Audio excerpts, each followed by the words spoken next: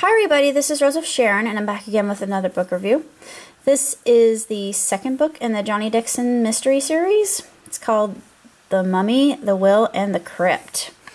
And it's rather frightening. Like any like any other Bellairs book dealing with the supernatural.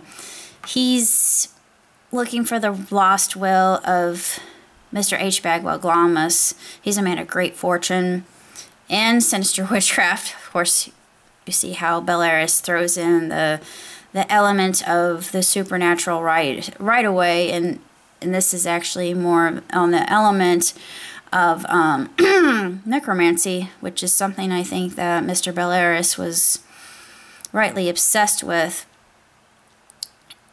Mr. Glomus' widow, she's offering a reward to anybody who finds it, enough to help Johnny's grandmother, and Johnny's grandmother isn't doing very well.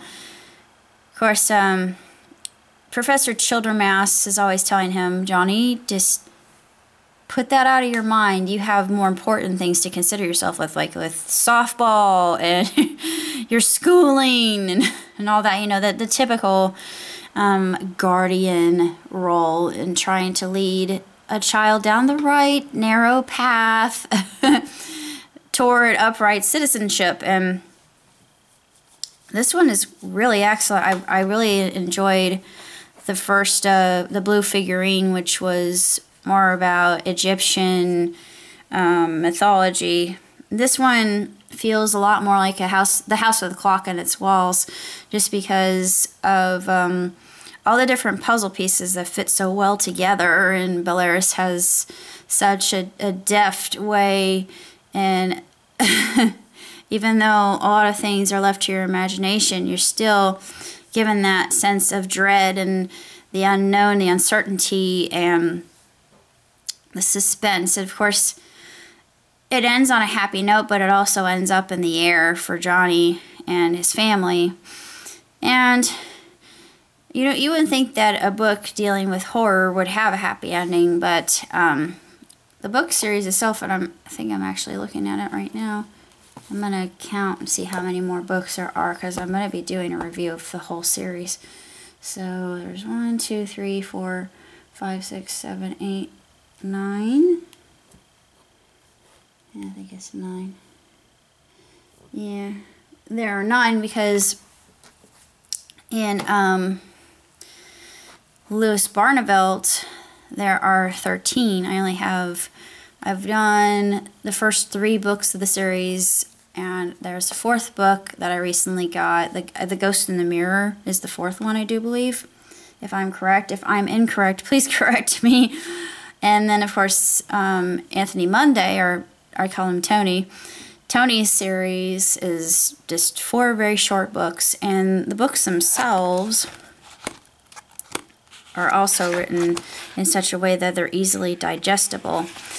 And I wouldn't recommend this for very young children because it's uh, sort of like I'm going to equate it to this. If uh, if you grew up and you you'll probably understand what I mean, but growing up, um, and this never frightened me for some strange reason, but in um, the second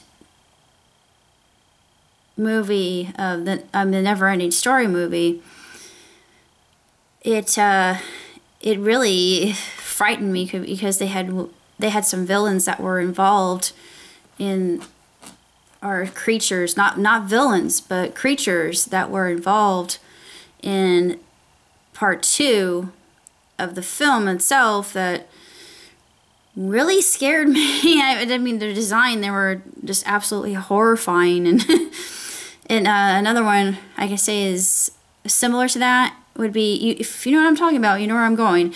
The Wheelers in Return to Oz. Yeah, you know of what I speak.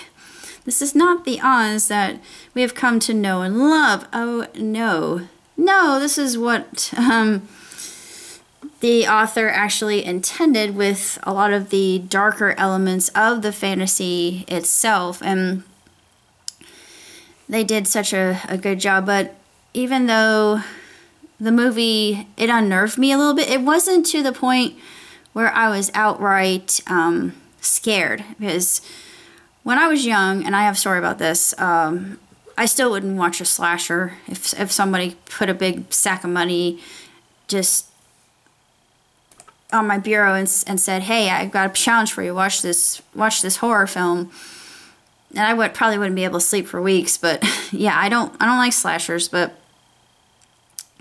when I was young, I had the chance to to ride the um the in the haunted mansion uh, amusement ride, and it was the first time I'd actually been exposed to an amusement park ride. So it was after I rode Dumbo, and, and Dumbo was fun. Dumbo was exciting. Um, it, it wasn't um, scary at all. I was just, I had fun. Um, Haunted Mansion isn't scary at all. I mean, to me, it's, it's very, very tame. Um, I really liked it. I love um, the special effects and animatronics in it just because they're unbelievable. They're just sensational. But getting back to my aforementioned topic, I, I just don't feel that the age group below seven should be even picking this book up or the series itself because even as an adult reading the series, I, I still felt my skin prickling quite a bit and I mean, for a children's book series to do that to you, and um, Harry Potter did that to me as well with the Dementors. I mean, just maybe, maybe very uncomfortable, but for good reason. That's why Miss Rowling, I should say Mrs. Rowling, did that to, to prove a point. Um, Bellairs does the same thing with his villains, and his villains are written in such a way that yes, indeed, they are a threat, but you know, despite the fact that in this case John gets himself into quite the jam, he's able to get himself out of it through, it's like a miracle. such a deus ex machina that you think, whoa, I did not see that coming, but um, I really don't have that much else to say about book two other than it's absolutely sensational. characters are very relatable. And in this case, you really you side with Johnny, despite his flaws, and knowing. I, I mean, you would do anything for your family too, and that's what he's trying to do with his grandmother. And his grandmother is very sick. but it's just very, very extremely well written. And of course, there's only one illustration in it as the map.